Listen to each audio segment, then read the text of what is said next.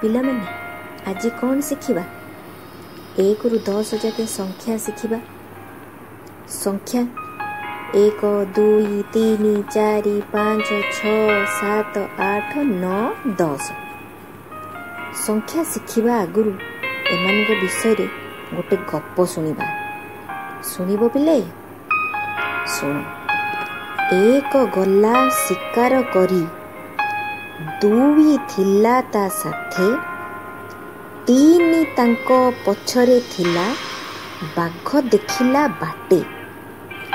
ଚାରି ଚଢ଼ିଲା ଆମ୍ବ ଗଛରେ ପାଞ୍ଚ ପଡ଼ିଲା ତଳେ ଛଅ ଦେଖିଣ ହସି ଉଠିଲା ଦୋଳି ଖେଳିଲା ଡାଳେ।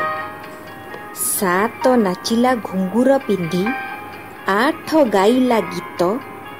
ନ ଚାଲିଲା ନୌକା ଧରି ଦଶ ଧରିଲା କାତ।